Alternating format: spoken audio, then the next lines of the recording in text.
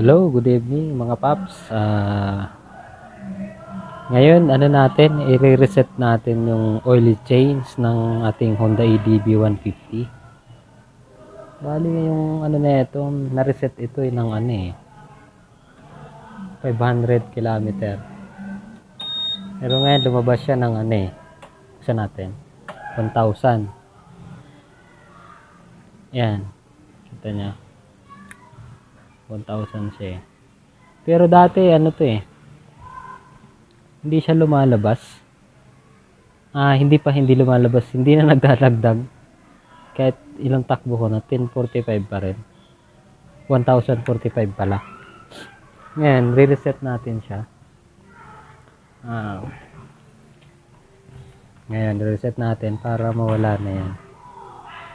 Wait lang. Tutok natin yung camera.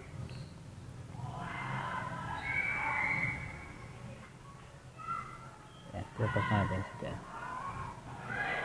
Yan. Bali, yung gagawin natin, i-reset na. Ito muna.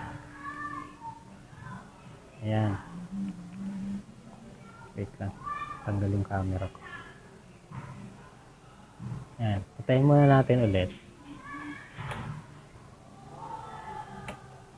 Ayan, papatay na siya.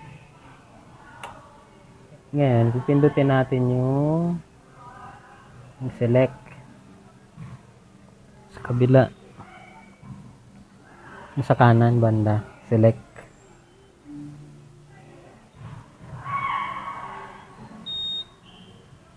Ayan, pa- ay hindi select, set pala. Yung set button. Tapos, long press nyo lang yun. Sorry, hindi kita sana long press.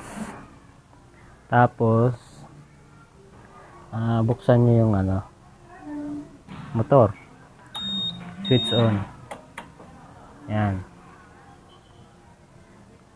Tas yan di ba nawala na siya ang kusa? Tinignan nyo wala na yan. Kapit ko yung camera. Yan. Wala na yung oil change. Yan ganyan lang kadali pag reset para mawala yung oil change. Eh gawan ko na lang ng ano parang ano siya picture na may arrow kung saan niya pipindutin. Para ano, hindi kasi kita dito sa ano madilim.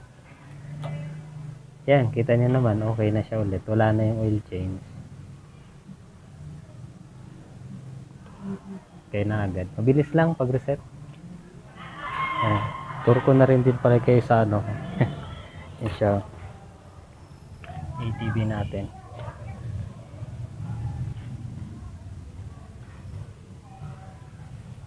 Yeah. Dumi nga lang, lagi na ano. Tinanggal ko kasi yung taklob eh. Yan siya.